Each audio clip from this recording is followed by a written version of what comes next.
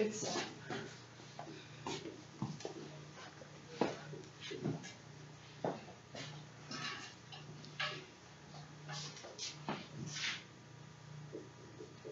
we'll see how long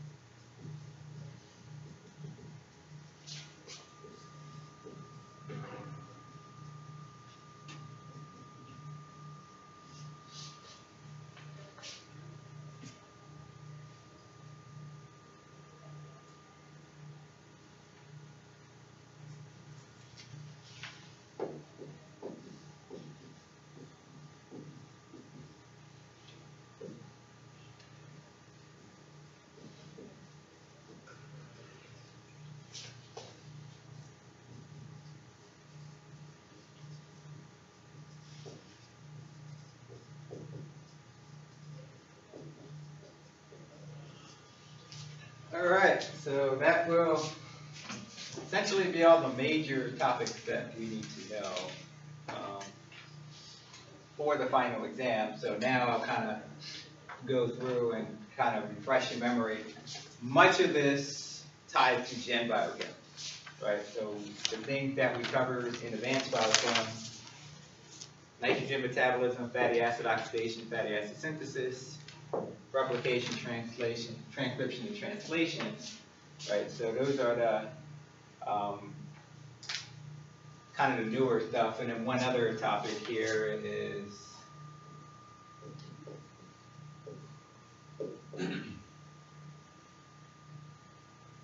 the mTOR pathway. Okay. So we have a lot of this material in Gen Biochem. So that's where you're going to want to focus most of your study on, right? So if you recall, the final could be 60 questions.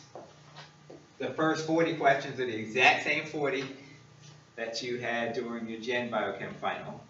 All right, so that's the core exam that you took, uh, Gen Biochem. Now there's an additional 20 questions. All right. Four of the additional 20 questions will be replaced because it's material we didn't cover, really dives into molecular biology stuff. Um, and then two questions from the core 40 that tie into molecular biology stuff like um, vectors and uh, restriction enzyme stuff will also be replaced. So just like the core exam, six total questions will be replaced. Um, and then, but then you'll have your, so you'll have your raw 60 questions that you'll answer, and then six additional questions that you answer, which then I use to replace the six that are um, there.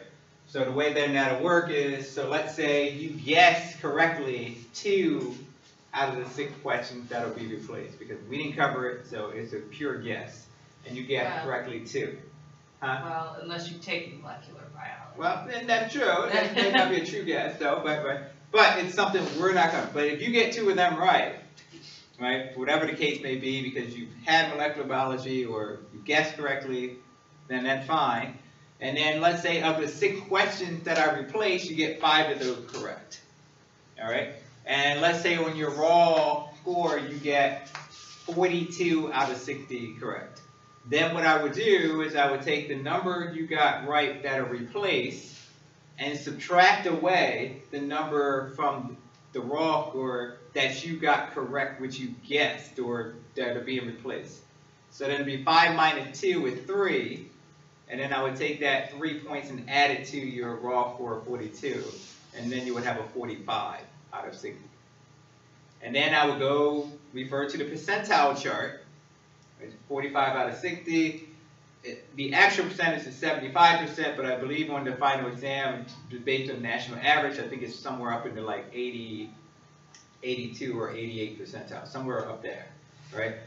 Then I would take that percentile, multiply by the points, total points for the final exam, and that will be your final exam score. All right, so similar how I did in Gen Biochem, I take the percentile. If you score a percentile in which it's actually more beneficial for me to just take the multiplying effect for each uh, question. All right, so if the exam is 150 points, each question is worth 3.75. If it's more beneficial for me to just take the number correct times 3.75 compared to the percentile, then I would do that, okay?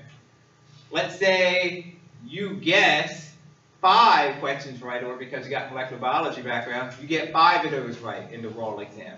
And you only get four right out of the replacement questions. I just keep the five. I just leave your raw score. So whatever way that worked to your advantage for your, your score is what I uh, do for the scoring thing. All right. So if I replace the questions and you get end up getting less, I don't take that away. But oh well, you only get you got four right for the replacement, but you guessed five. Therefore, that'd be a minus one, and I- let me take a point away. I don't do that. Okay. So however it works to your advantage is what I end up doing.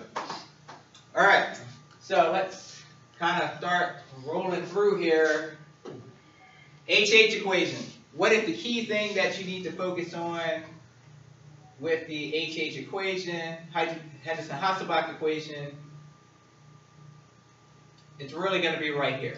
Um, so I will be sending out a document, all right, in which I pull out what are the key topics from my full list of uh, things that we cover in Gen Biochemistry that you will need to be focusing on. So it'll be a much more concise document. It'll have the key topics that you want to be focusing on. All right? Um, because those are the core things that they really are going to want to test on. So when it comes to buffers, right, two things that you're going to either do. You're going to calculate um, the pH, which they're not going to ask on all multiple choice exam questions. That's just pointless. But so the final exam, ACS, they want to know, do you understand conceptually how buffers work? Right? And the big concept of the, buffer is really the, the ratio of A minus to HA. How much of the conjugate uh, base, how much of the weak acid you have in their ratios, that's going to dictate then, you know, what is the pH of the buffer with respect to the pKa of that weak acid. All right? So at the end of the day, if pH is higher than pKa, then that tells you your solution is more basic, you should have more A minus. pH is less than pKa, that's an indication that your solution is more acidic, you should have more of the weak acid. And pH equal pKa, there should be equal amounts, right, of the conjugate acid, conjugate base. All right. Amino acids, we should know all the the names of our amino acids, we should be able to group them. Does anybody remember the mnemonics for the, the amino acids? Stacon, freeway. So freeways are living- aromatics. Yeah, living well and getting Paid is very much fantastic, right? Does everybody remember that? Um, Ben, you probably was in the very first fall semester, right? Yeah, your first semester. Yeah, so you didn't quite get those mnemonics then, but here we go. But they'll be there on that sheet though to help you remember the grouping there. So my polar, polar neutral, right, dicons is a Q, looks like an O, so it's there. Um, acids is S, basic is HARC, HRK. Um, and our non-polar, living well and getting paid is very much fantastic. So if you remember that, you can get all your groupings, right? Um, and then our ionizable uh, amino acids, right? So that ties into titration, amino acid titrations right, and amino acids and pH. So you got to know the pKa, right?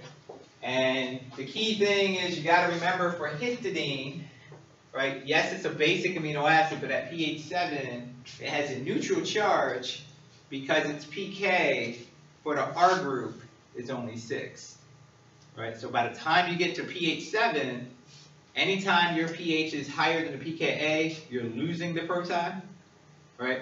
So if you recall for basic amino acids, if I would draw a general structure,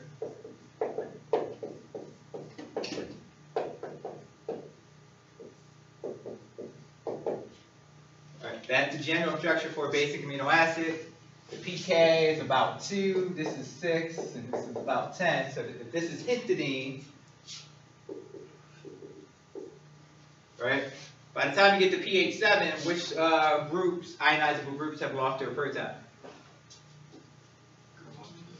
This one and this one. Right? And because we lose H plus, it just becomes R, and we lose an H, that becomes minus. Right? And so that's a neutral compound by the time we get to pH 7. Right? Cysteine, uh, and tyrosine, they behave like acidic amino acids right?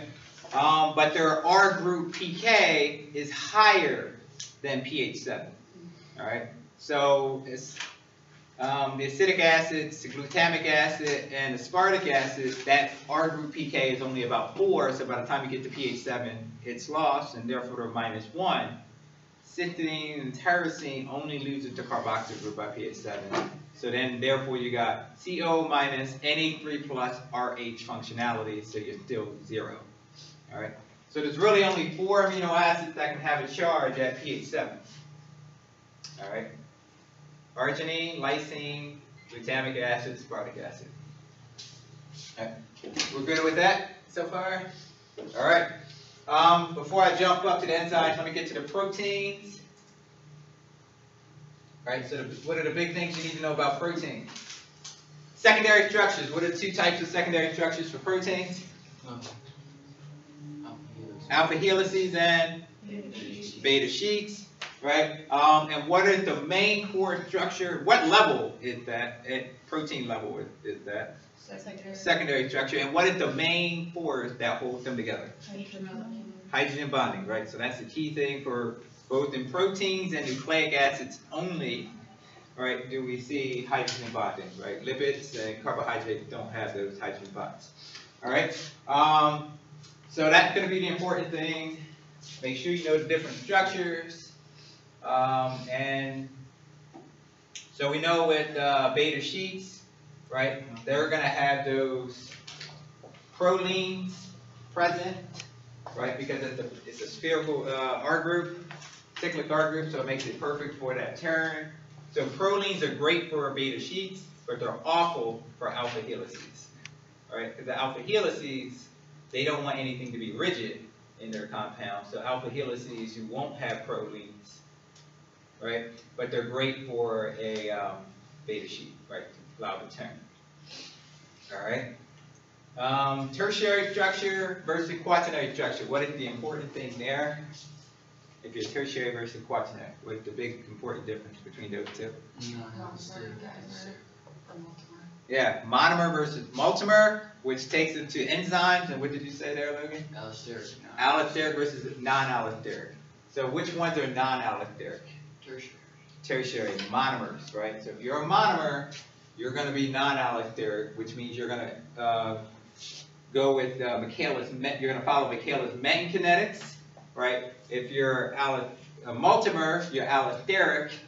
You are going to follow cooperative kinetics, right? So make sure you do things. So when we talk about Michaelis Menten kinetics, we talk about the different types of inhibitors, like we talked about competitive inhibitors, non-competitive inhibitors, uncompetitive inhibitors, right? For Michaelis Menten non-allosteric tertiary um, enzymes. As soon as you get to quaternary, right now with multimers, we're following cooperative kinetics, we're sigmoidal shape, all those things, right?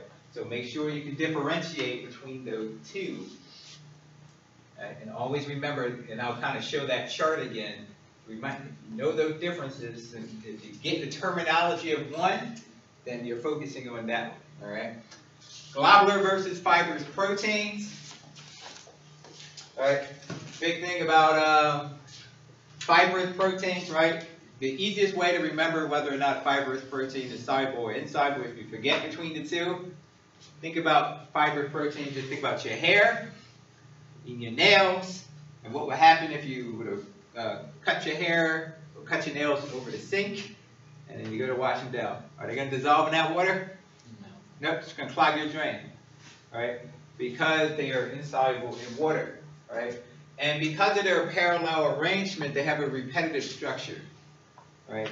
So fibrous proteins are going to have a very repetitive structure. And the big thing about globular proteins, right, they kind of have that donut shape. What two uh, enzymes did we talk about? Like major enzymes did we talk about? Hemoglobin. Hemoglobin and myoglobin, right? They have that um, globular shape. And which molecule are they responsible for transporting? Oxygen. Oxygen, which is what in terms of polarity? O2 is what type of molecule in terms of polarity? Non-polar. Non-polar, all diatomics are non-polar, right? If they're perfect non-diatomic, H2, O2, N2, right? They're all non-polar um, compounds. So that's a reminder that globular proteins have non-polar stuff on the inside, right? So if you're going to see a set of amino acids, which uh, amino acids would you expect to be on the inside of a globular protein? Think about our amino acid groupings. Yeah, living well. Living well, getting paid, and very much fantastic, right? If you see those amino acids, they should be on the inside of a globular protein. If you see any others, they're going to be on the outside of the globular protein, right? So that was the big thing that I know we covered in the class. All right. So we have that. Those are the big things about proteins, and those are core fundamental things, right? You have to be able to have the difference between globular, fibrous, different class of proteins. All right. The techniques here, not so much centrifugation, but column chromatography, big time uh, importance.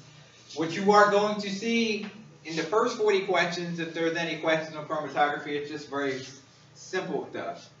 It's when you start to get to the core, the, the beyond that, they, start- they're gonna have quite a few questions there where they're gonna have it very much like the exam questions that I had. Here's the information, what does it mean? Right, it's not going to be just simply, you're gonna have to decipher the information and then be able to answer the question, right? So I've been trying to prepare you for that type of thinking, thought process, because that is the expectation for an advanced biochem, uh, students, right? So you're gonna see a lot of stuff in there with, regard to protein purification, all that stuff, like different techniques. And you're gonna have to be able to sort through that information and identify that, what might be the protein. All right, so we have column chromatography. What are the two main types of chromatography in addition to affinity chromatography? Get that out of the way. They don't care about that. Ion exchange. Which one? Ion exchange. Ion exchange and how well can you separate proteins by size inclusion? Right? So size inclusion uh, chromatography. What is the elution order? You need to make sure you know those elution orders. Big first, small last. Big first, small last, right? So the larger molecules elute first. So you should be able to see an elution diagram, right, for that chromatography technique and be able to know, okay, with respect to time, right, the larger molecules would have elute first, the smaller molecules will elute later, right? And then with gel filtration, right, that, you can, can compare that, and I know I did this for those who took my lab, that lab biochem final, right, where I had you say, okay, if this was the order for size inclusion, but here's your band, tell me the order that you see on the SDS-PAGE band, right? You should be able to compare that to SDS-PAGE. What is the migration order in SDS-PAGE? Um, huh? The opposite. The opposite, right? In migration, smaller molecules migrate further down the vertical gel, right? So if you remember, if you see a molecular weight ladder, it's going to be higher, and then they're going to work their way down to the smaller ones, right? So that's the big thing with um, gel filtration and SDS-PAGE. So here we go. So larger molecules first, and so whether it be volume or time, right? The larger one's going to come out first, and then the smaller one's going to come out uh, later. How about ion exchange? What is the key thing uh, there about ion exchange? The cation and Anion, cation exchange. So if you're doing anion exchange, which one gets eluted first? the. The positive, the opposite charge, right? You're capturing the one that you're exchanging. All right. So if you are trying to get anions, you're going to capture the anions, and the cations and the neutral substances will elute further along the way. So then we can then wash our uh, column with high salt concentration, right? And the if you're doing anion exchange, the cations and the neutral substances will elute out first, and then you're going to elute last, right? The stuff you want to capture is going to be anion.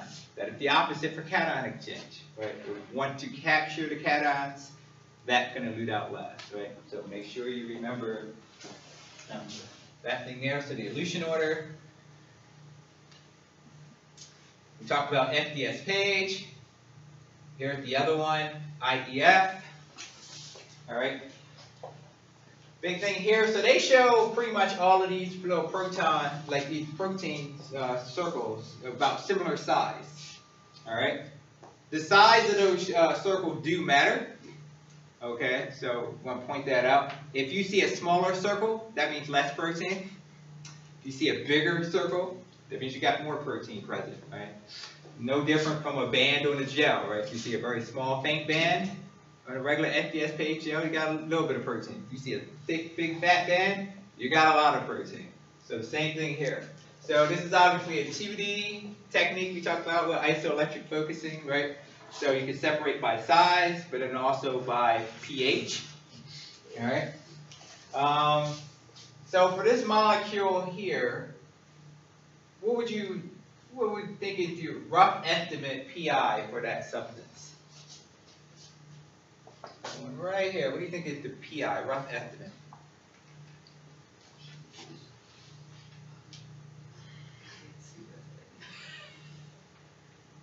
It might be the isoelectric one. rough estimate.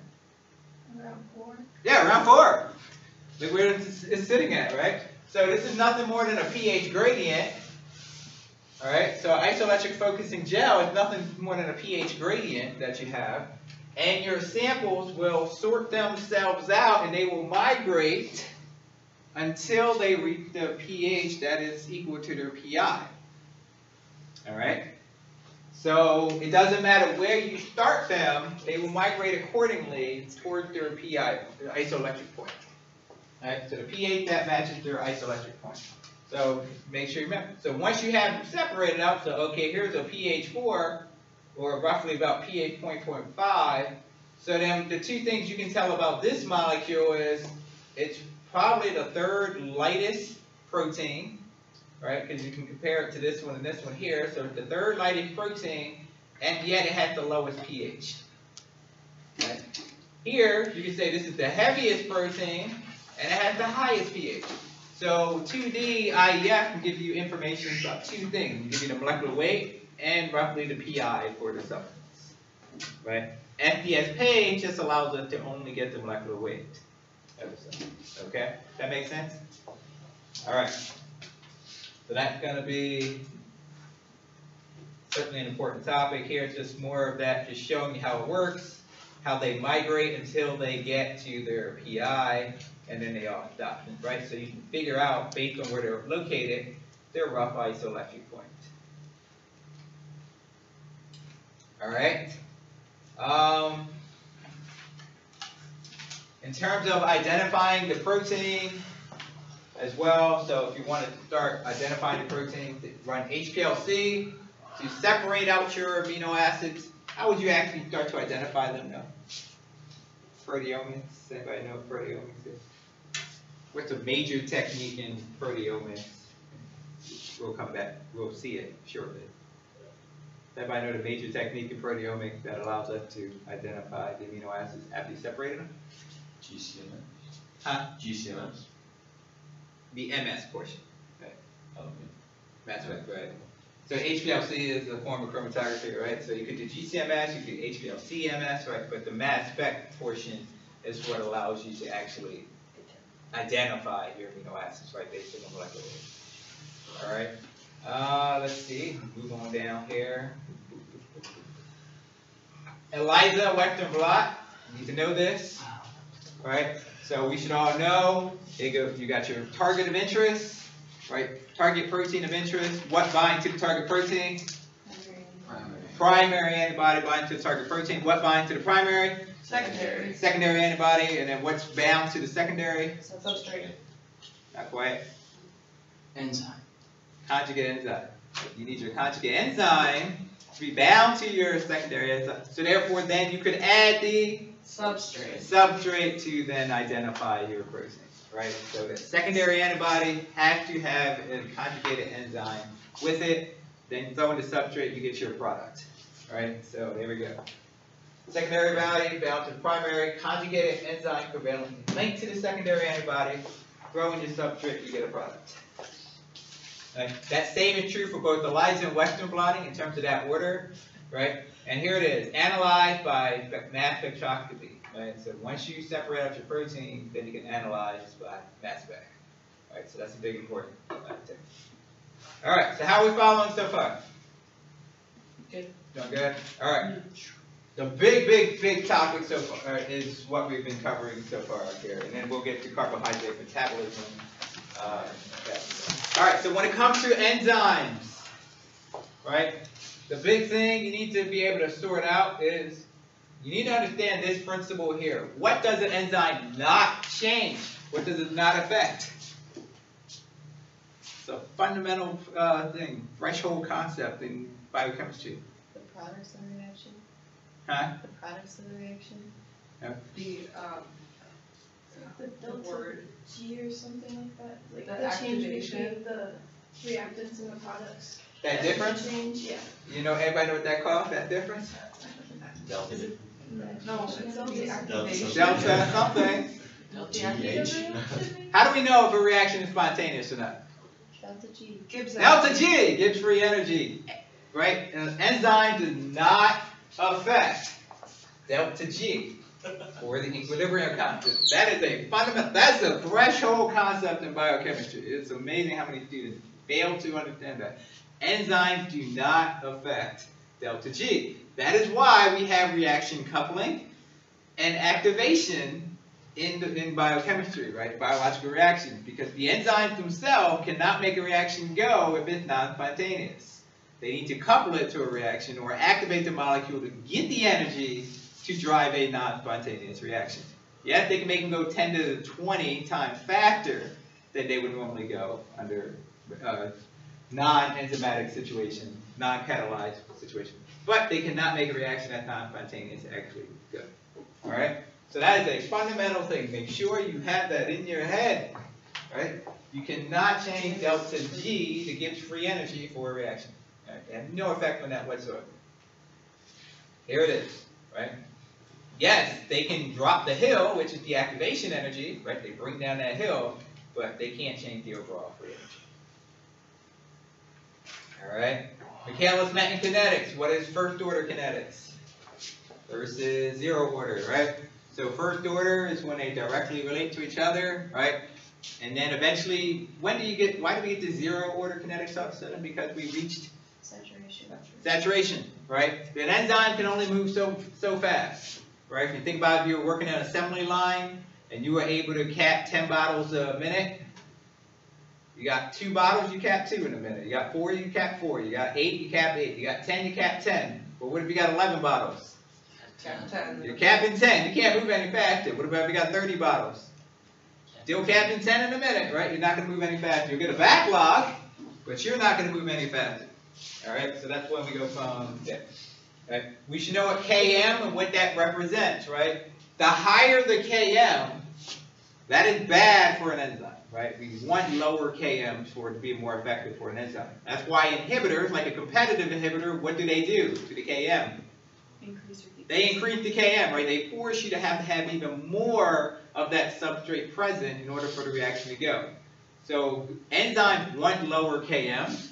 What about their Kcat, catalytic efficiency, or the turnover number that represents? Would you want a higher turnover number or a smaller turnover number? Higher. You want higher, right? So you want to have higher turnover numbers, you want to have higher catalytic efficiency, you want to have a lower Km. So if you have some type of inhibitor, or you have some type of mutation or whatever to the enzyme amino acids, and you see all of a sudden a change in the Km, it gets increased, that means that's a deleterious effect to that enzyme, right?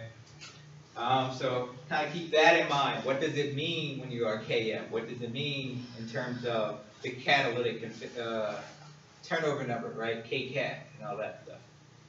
All right, so that's what I have here, right? So inhibitors, right? The different types of inhibitors. Competitive inhibitors. Once again, what, what type of co- uh, molecule, what type of enzyme are we talking about in terms of protein structure? Huh?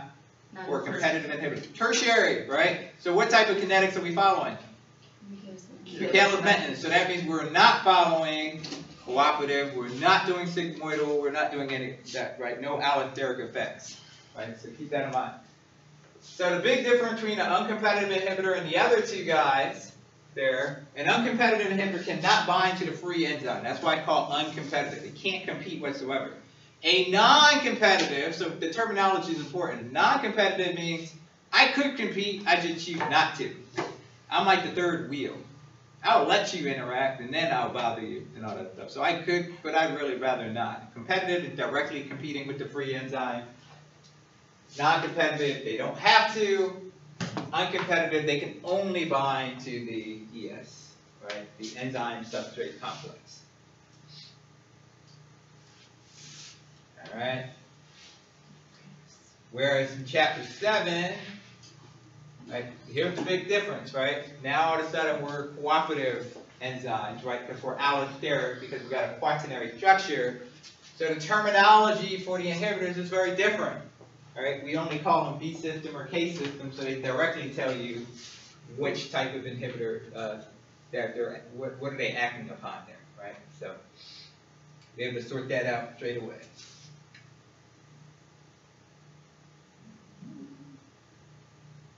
All right, so we should all know about cooperativity with that. We get to the enzyme mechanism. Um, the big thing, how many phases for the enzyme mechanism chymotrypsin? How many stages there were, I remember?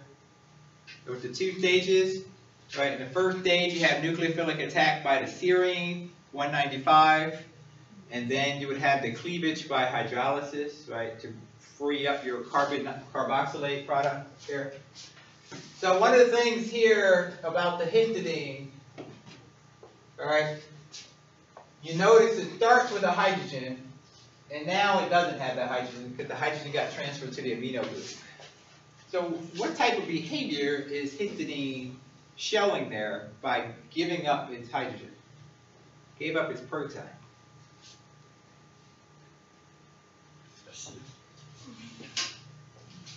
So we talked about the different types of catalysts here.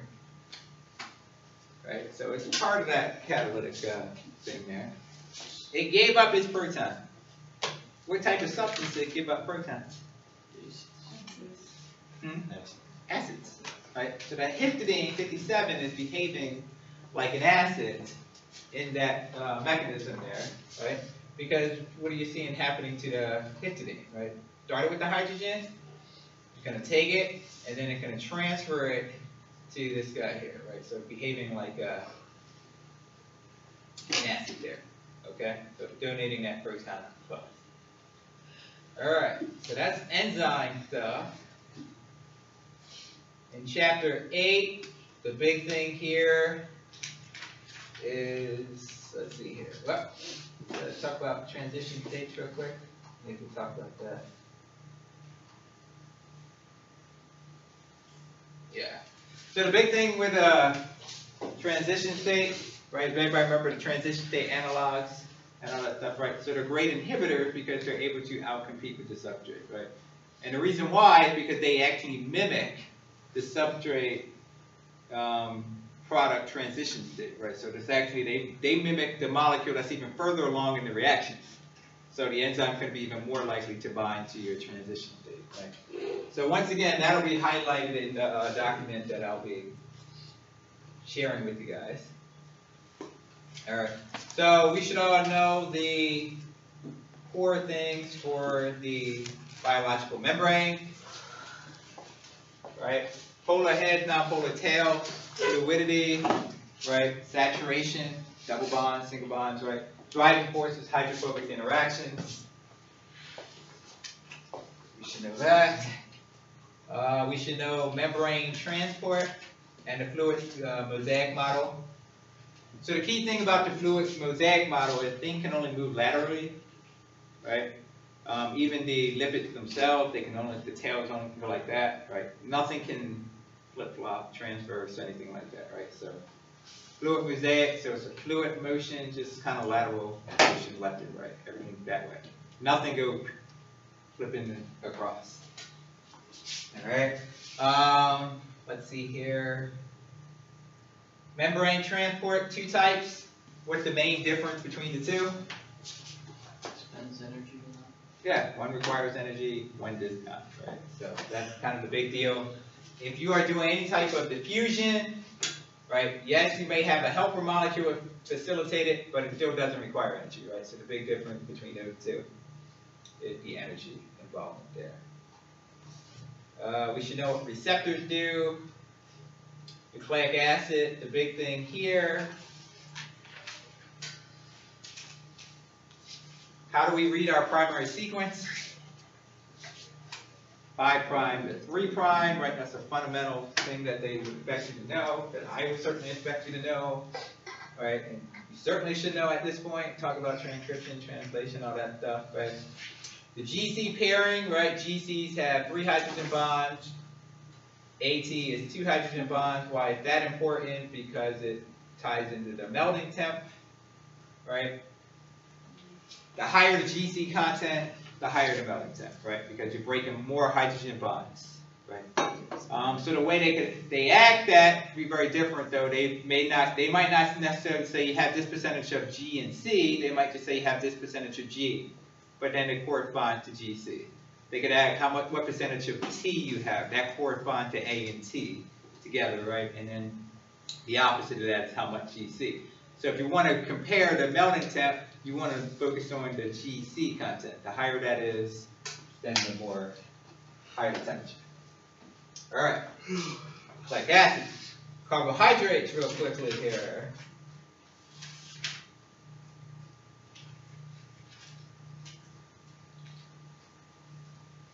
We should know coupling, stuff like that, and then we get the carbs.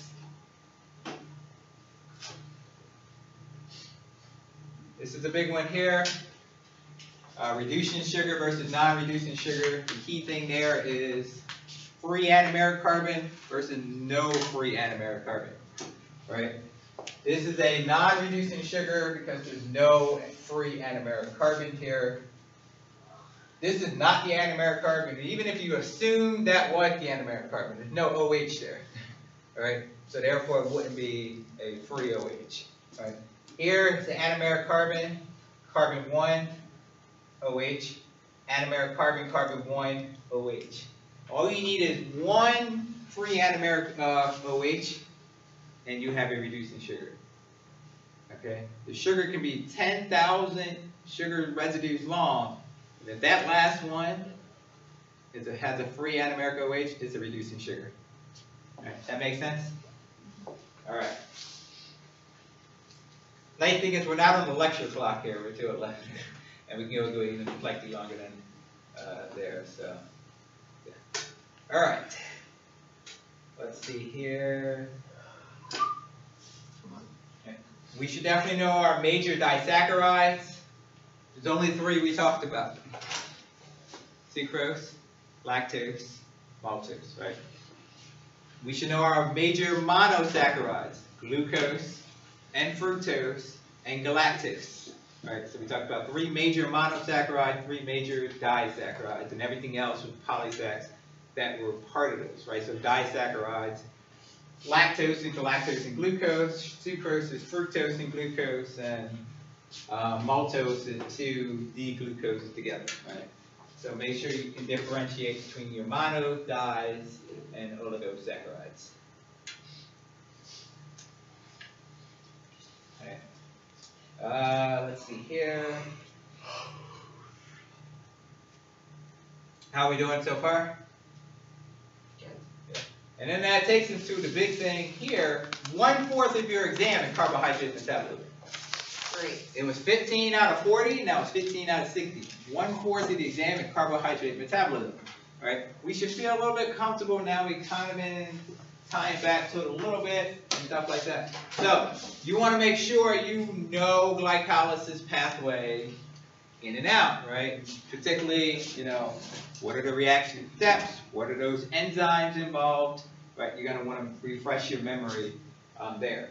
We I know I've certainly made sure that you knew the three major control point enzymes, right? But you're also going to want to make sure you know, like, you know, which richer aldolase. Which reaction step here uh, do you think the enolase might be involved in? Just based on its name. Enolase. So try to think about which one has a product that has enol in it. Oh my gosh. Step seven to eight.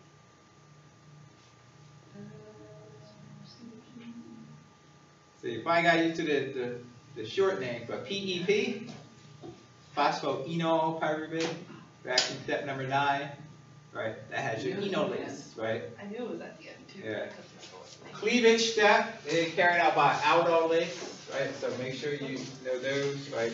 Um,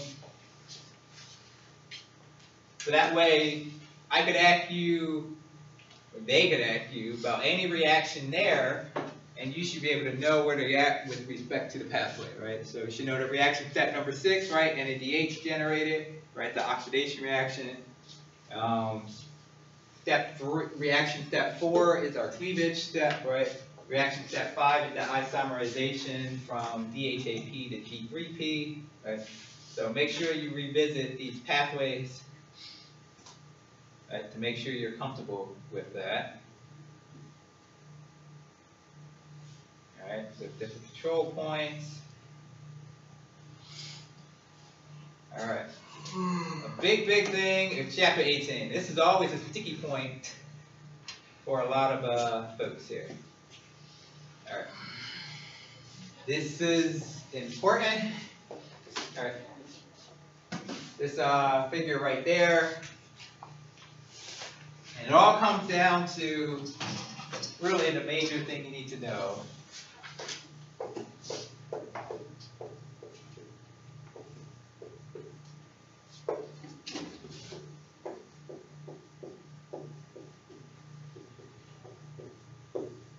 Okay. Muscle.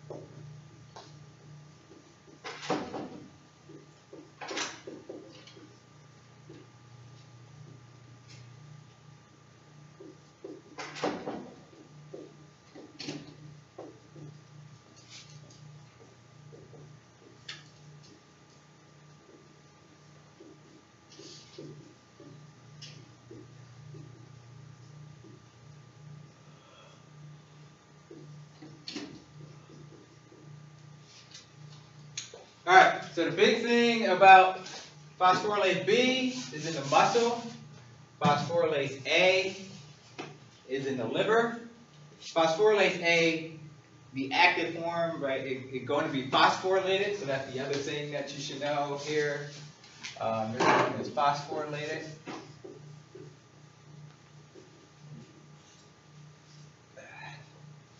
And this one here is non-phosphorylated.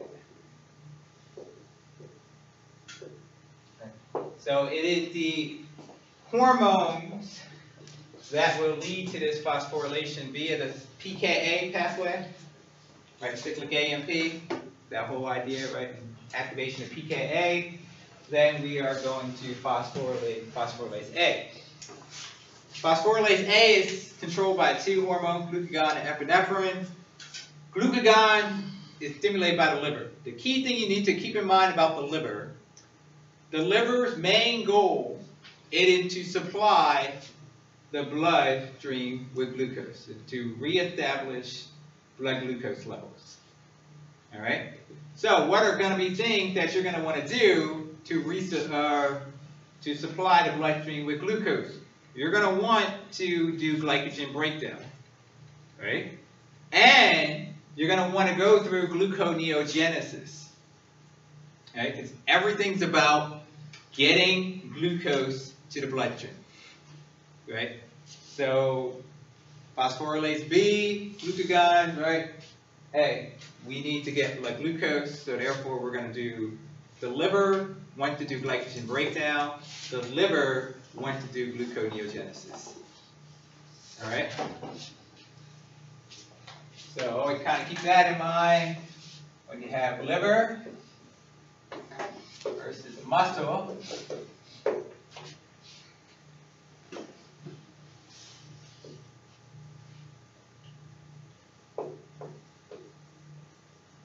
Gluconeogenesis, and then the liver, the muscle wants to do glycolysis.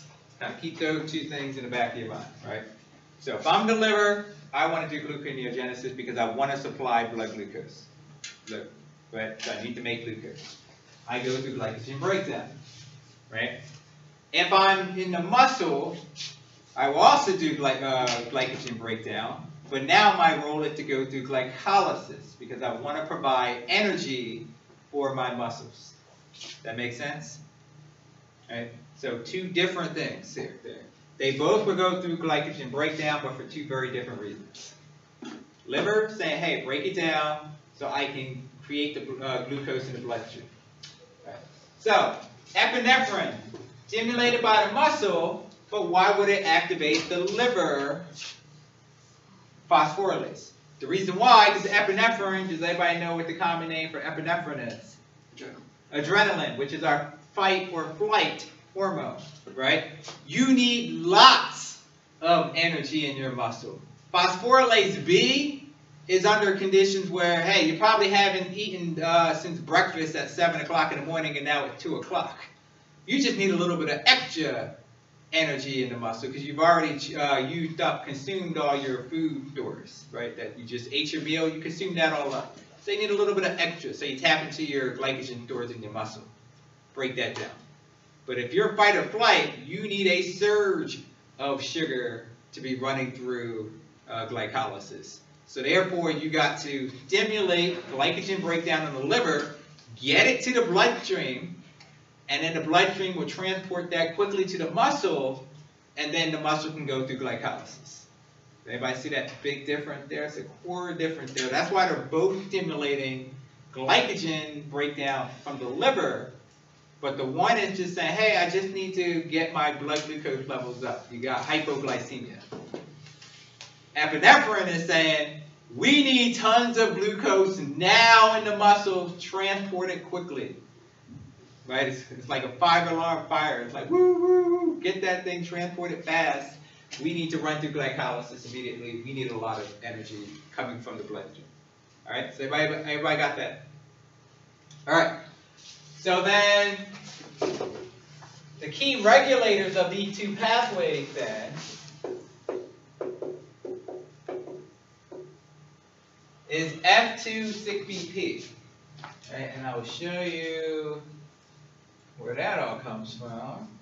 Everybody remember this? Right? F2-6BP is the key regulator for that. If you make F2-6BP, alright, you're going to go through glycolysis because F2-6BP is an allosteric activator of PFK1.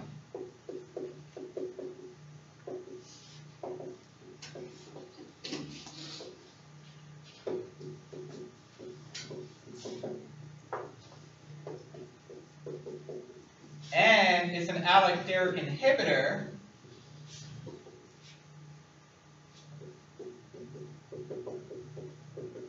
of F1 6BPase.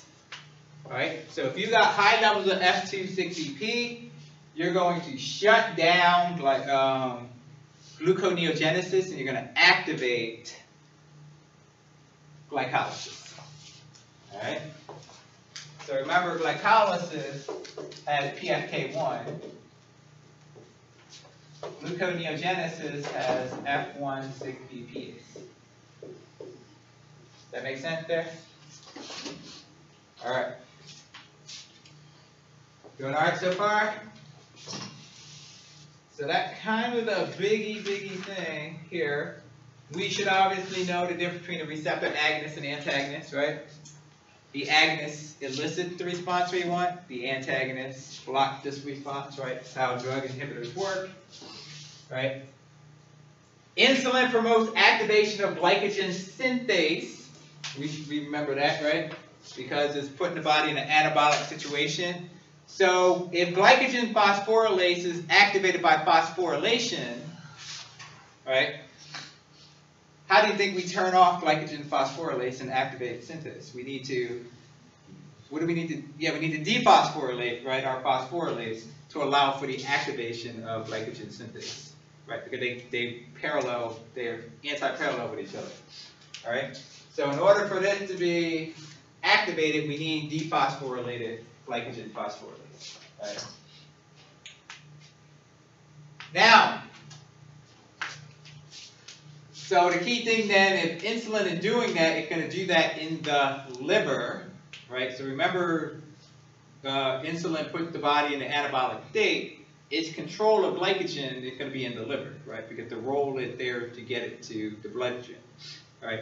If we're adipose tissue, then we're controlling fatty acid synthesis and things of that nature, right? So be mindful of what organ you're dealing with when you're talking about insulin, right? And the control that it has, all right? Uh, let's see here.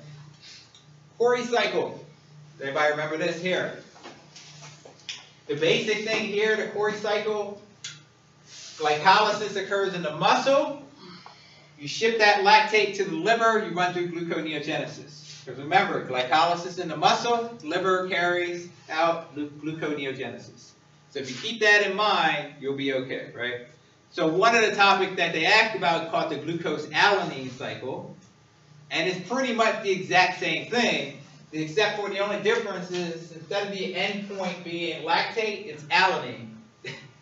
right? So you go from glucose to pyruvate to alanine in the glucose alanine cycle. And then alanine will get shipped to the liver and go alanine, pyruvate, glucose. But it's the same premise as the Cori cycle. Right? Glycolysis occurs in the which organ? Muscle.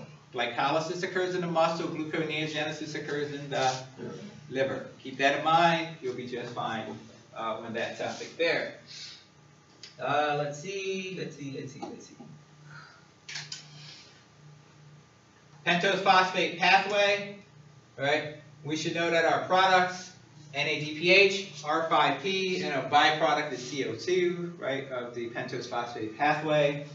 Um, so anytime we're going to make, uh, we're going to go through PPP is because we need to make NADPH, we need to make R5P, and then we end up generating CO2.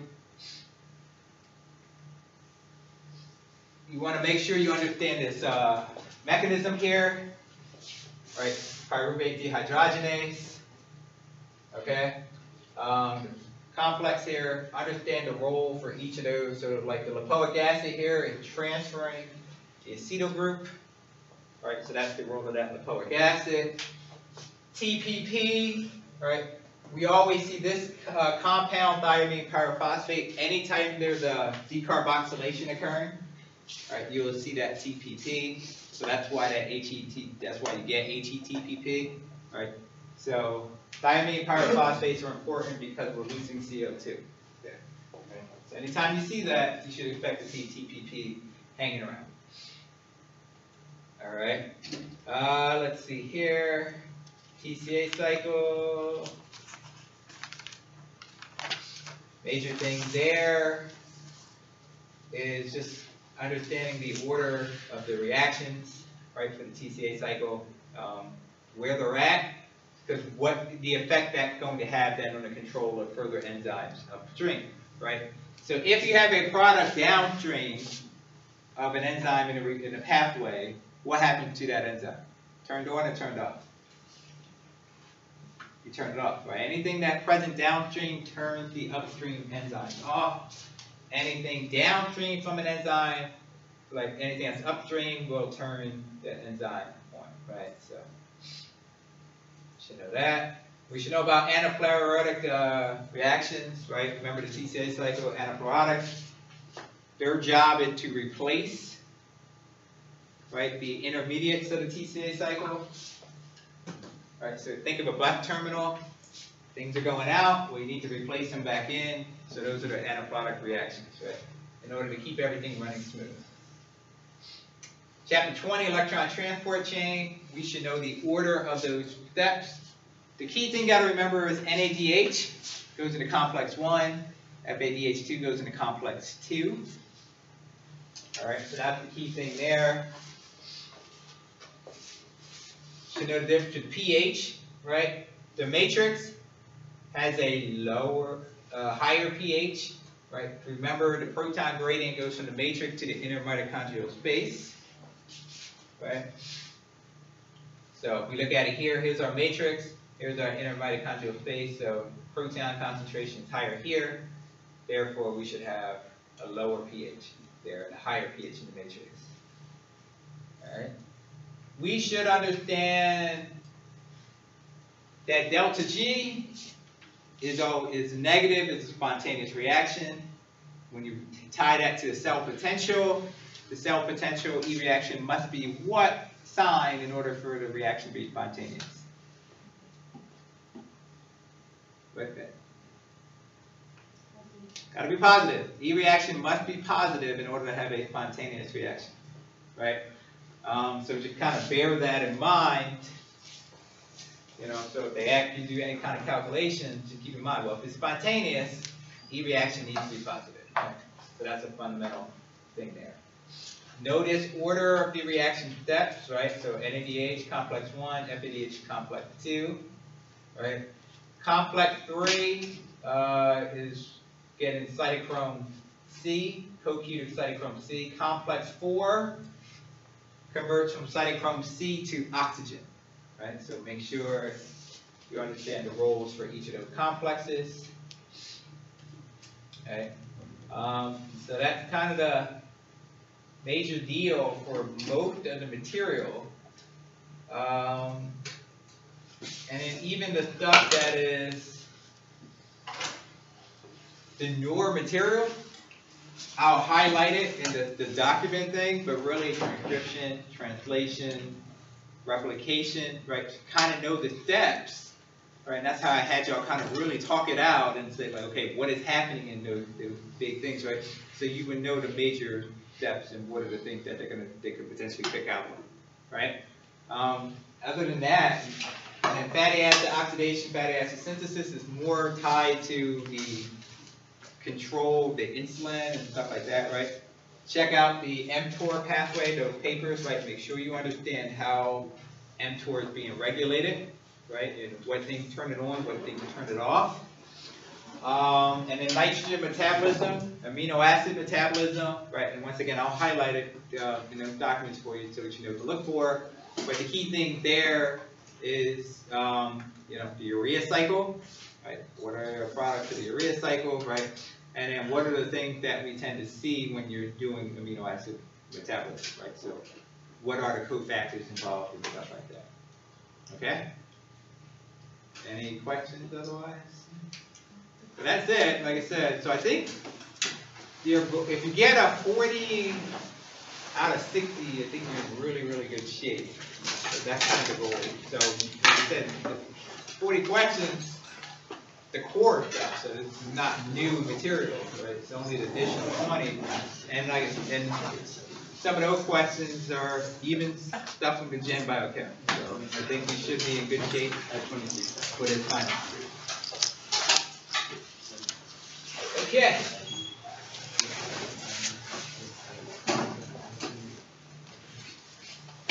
Alrighty, well, I'll see you all Friday. Is the final in here? Yes, it is. Or, Final will be here. Um, I you want sent out, in that email I sent out, I asked if people wanted to do a Friday morning, like for those who weren't here.